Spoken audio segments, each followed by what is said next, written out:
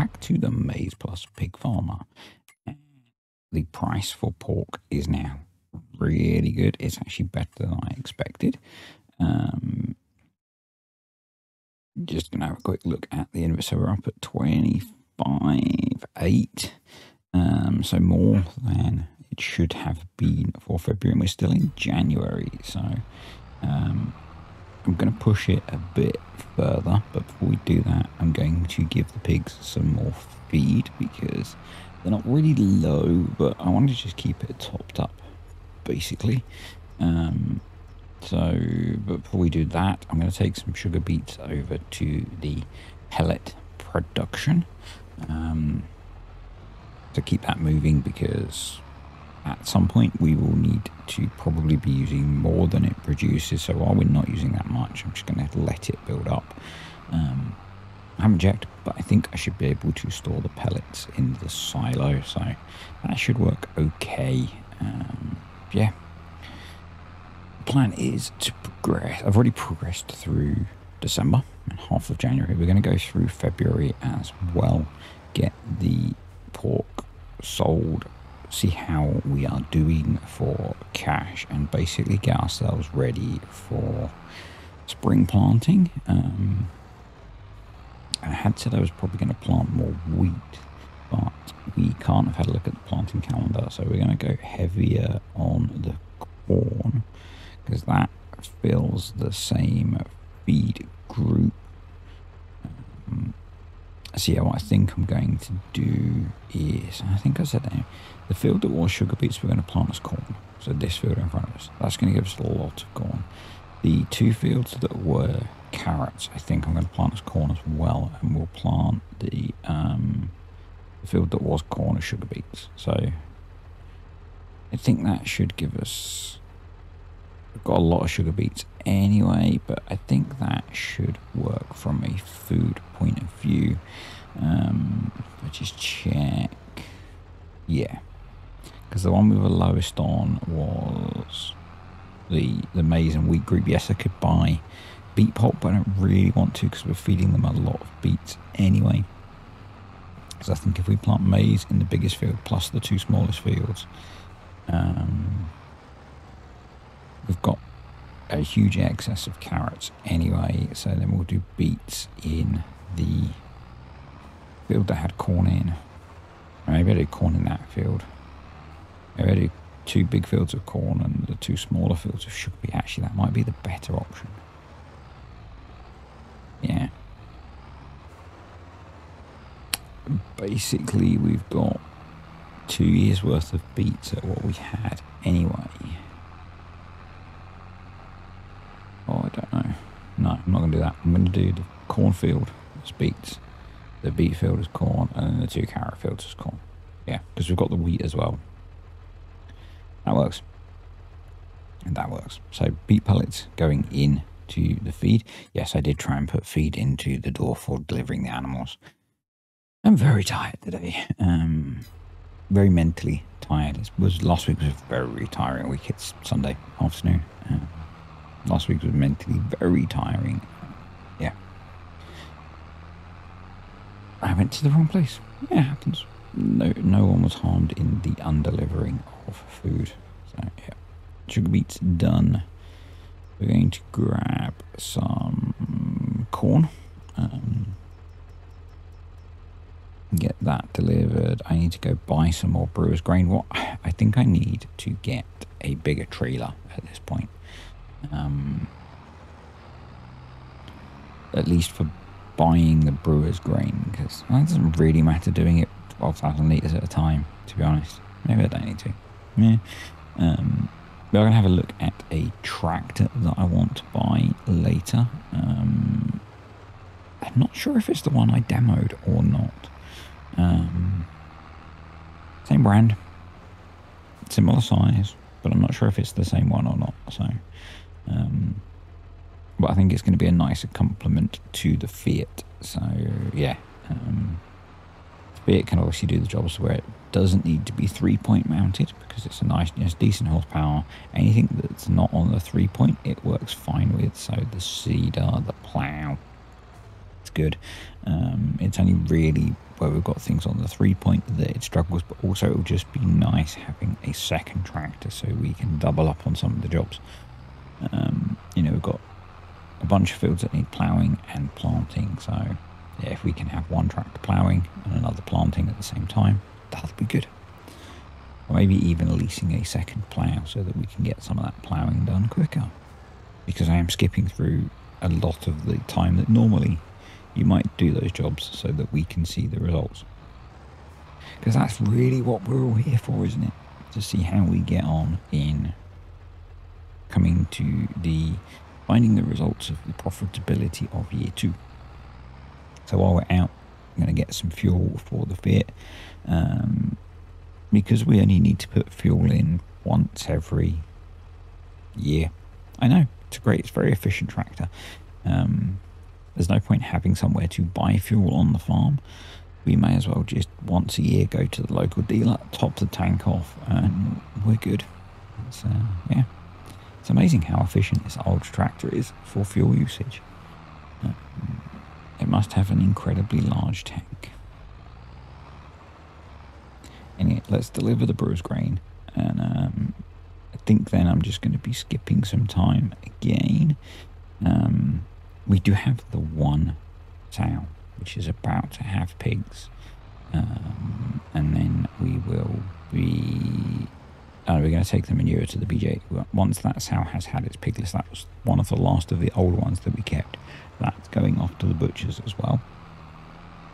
So, yeah, there's a little bit more meat to process still. Um,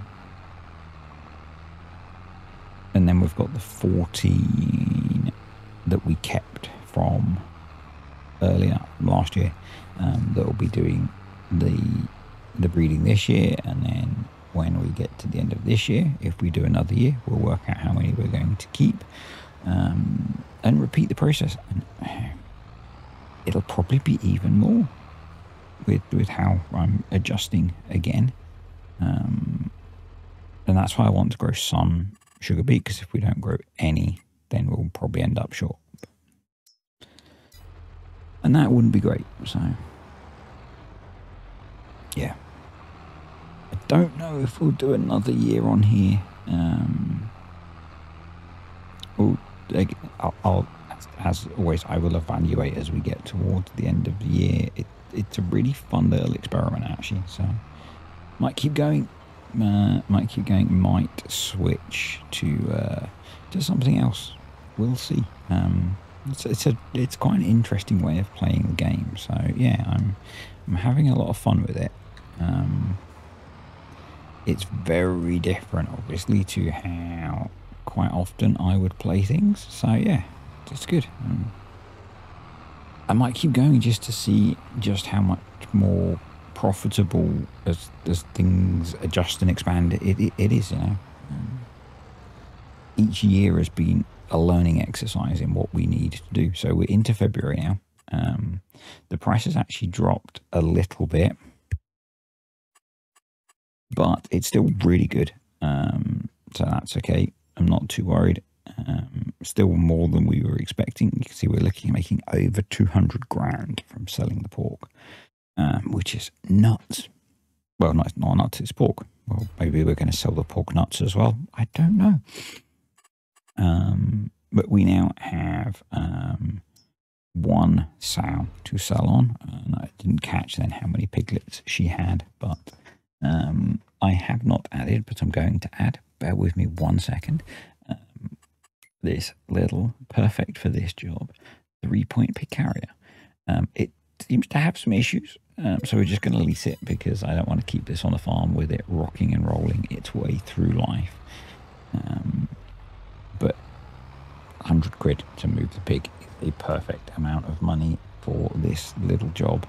Um, yeah, it wasn't worth leasing an actual animal trailer to do the job when uh, this will do just fine to move our one sow down to the butcher's and then we can get the pork loaded up and get it sold. Uh, so can I quickly catch? No, because it doesn't show numbers, but we had a mix of both, which is cool. Um, obviously, well, no, not obviously, the plan will be that. We might keep them from the second litter. We will want to hold back some piglets at some point for future breeding stock. Um, but I don't actually want them to become inseminated until we want them to be having pigs. Let's so yeah. Uh, what I didn't realise is the butcher has opening hours, so that's a thing. Um, so although I enabled it, it doesn't start processing, and I can't take the meat out. I'm just going to return that thing because it's kind of unstable. Um, but yeah, so the trailer's here already waiting. And thank you, Universal Auto Load.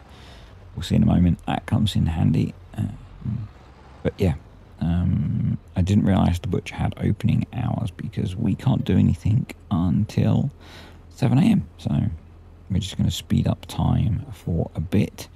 Um, I think the price might drop a little bit during that period, which is a bit frustrating, but hey, we're making a ton of cash, so is it really frustrating compared to, you know, way back when we sold our first piglets for 13 grand.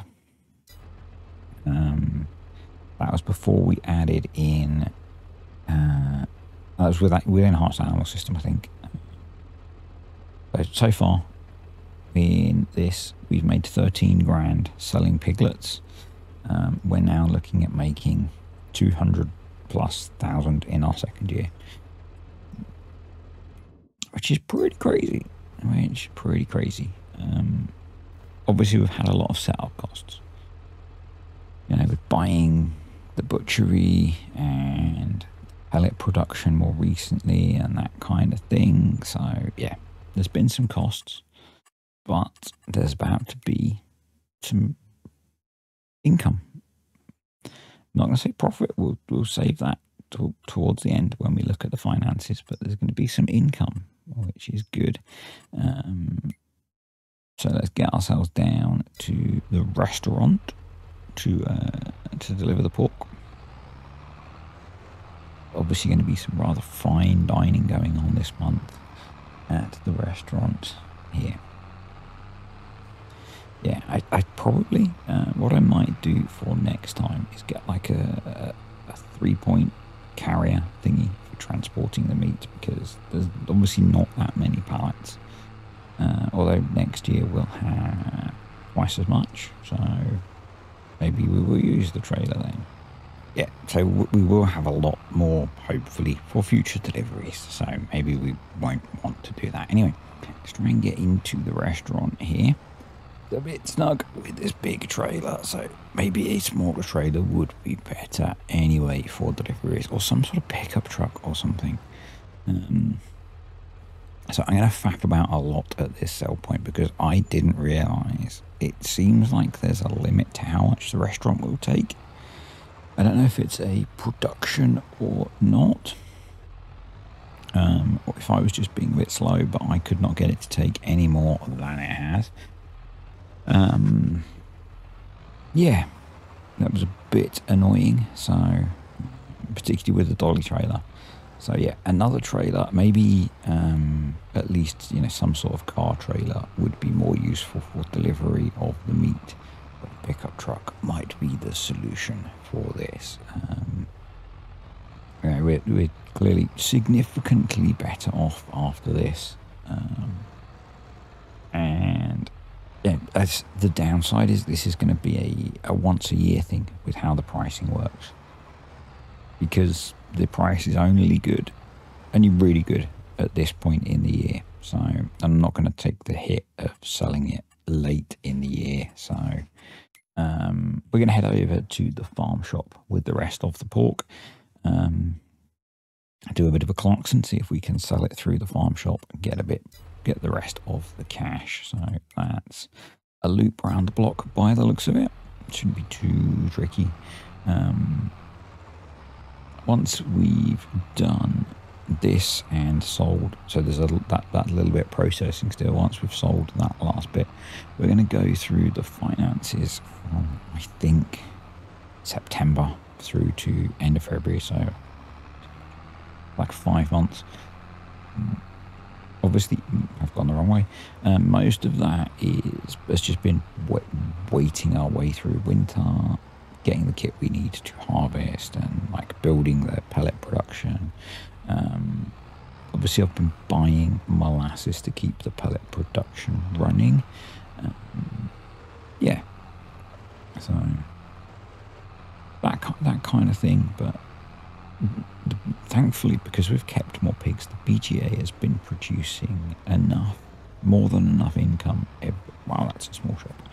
Uh, more than enough income every month to to cover those sorts of running costs. So yeah, we're doing good. Um, we're certainly going in the correct direction financially um, because at the moment we are £206,000 for the pork for the year. That is our year's worth. Obviously, we, we keep it frozen in the butchers until the price peaks. Um, yeah. So, and I'm just going to pay the loan off. No point us keeping the loan when we've got the cash in the bank. Um, and this is the tractor that I'm looking at, the, uh, the John Deere 6170M. And I say, I can't remember if this is the one that we had demo of, but I think it was. Um, yeah, so that's what I'm going to have a look at. Hoping I can get one that's sort of 100 and, um, 190 ish horsepower because that's what we need for the um, plow. Uh, so the pork is all processed. We're heading back to, although the restaurant has the best price, I'm worried that they're not going to want to take any more. So we're just going to head straight back to the farm shop with this partial pallet of a very small amount of pork. I'm just going to stick it on the front of the front loader. Um, I'm not going to worry about putting it on the trailer. I know it's very good for safety and you know food hygiene and all that. Just loading up your pallet of frozen pork on the uh, the the forks and driving it through town. I mean, how else do you deliver, particularly pork that's so valuable? You know, twenty odd pounds a kilo. Seeing it delivered on the front of a tractor. Would you pay that much? Uh, oh well. Um, it certainly changed the course of things because, yeah, we're going to have to buy the tractor that we want. Um, straight out, which is good. There's not really anything else that we need. So um, I think at the end of this year, with you know we've we've got twice as many pigs. We're looking at probably producing twice as much pork, twice as much income. We could easily look at expanding the amount of land that we are farming to increase significantly the amount of food that we produce, and therefore can just keep growing. Um, yeah, we'll uh, deliver this and then we'll have a look at how the finances have taken a significant turn for the better. Uh, before we do that, I'm going to say thank you to the patrons and the YouTube channel. I appreciate you guys supporting the channel. And also, if you're interested in picking up a copy of FS25, don't forget to use partner code DISTURBED. So, yeah, £212,258 for selling the pork. So, let's have a look at the finances. So I've kept all of the other points that we've done and the uh, the one for the end of this month is at the very end and then we've got the changes. So um, the, the, the, the 1700 pounds on vehicles was for the pallet forks. Um, we leased some stuff. Uh, I think that was animal traders. I can't remember what else.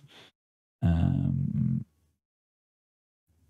maintenance I think is the it's just the running cost of building maintenance. It's up now up at like eight hundred pounds a month, nine hundred pounds a month is what it is. We didn't buy any seed or fur. Miscellaneous is things like uh, production costs, and I think the uh, the molasses might be going in there as well. Not certain, but anyway, um, the building cost was the 30 odd grand for the pellet production. Um, the water bill it is the water bill. I mean, it's not horrendous. It's not as bad as some of them have been. So, oh, you know, it's, it's just, about thirteen hundred pounds a month. I think we're paying. I, it's low enough that I'm not bothered about switching to getting the water ourselves, um, and then the loan interest. Um, and we obviously had the loan for about ten months because it was two hundred and eighty-two per month, and that's paid off now. So we're not going to have that anymore. Um, we didn't sell any animals. We made about um, 14 grand from the BGA. Obviously, the big thing, the £212,000 from selling the pork. And also, we had the 40 grand from selling the canola. Now, that won't, isn't going to be a regular thing. That was just a one off because we changed how we were doing the feeding. I'm not planning to do cash crops. Um, so, again, assuming my numbers are roughly right, again, not doing this super accurately, we spent in over the five months about 50 grand in cash. Just looking at the numbers, that looks vaguely right. Um, cash in the bank's gone up a lot, £135,000. Land value's not changed. Animal value gone up a little bit. That's just going up and down based on the animals we have. Um, equipment value has gone down, and I had a quick look at this actually because it was quite a big drop. Um, and I had a look just at some of the individual items because I, I, I, had these up on the calculator on my phone, and I was able to actually scroll back through the history far enough to uh, to see the changes. And just I think the the Fiat had dropped in by four grand in value in the time between the two times that I did this the root crop harvester had dropped by three grand in value. So yeah, these, these numbers are real and they're big. You know, it's like 15 grand in value on the equipment that's just sat there. Um, building value went up by 12 grand. I mean, a big chunk of that is the new building that we built. Um, loan's gone away. That's good, but we don't have any meat stored now. So that's less good. Um, so overall, we've actually now, with uh, the money that's gone in and money going out and stuff, um, we are plus £131,000.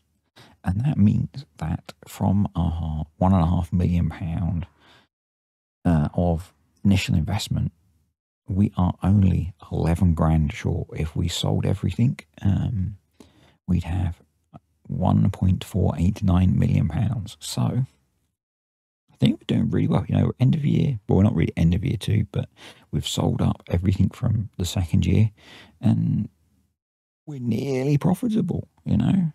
Um, I'm really pleased actually. And yeah, obviously the big thing is the butcher mod that is making this incredibly profitable. I think next year, you know, if you think we, we had six sales last year, we've got 14 now. So even if we double it, we're probably looking at four, you know, four twenty-five. We've got a few more, so maybe four thirty, four forty, hundred and forty thousand pounds income.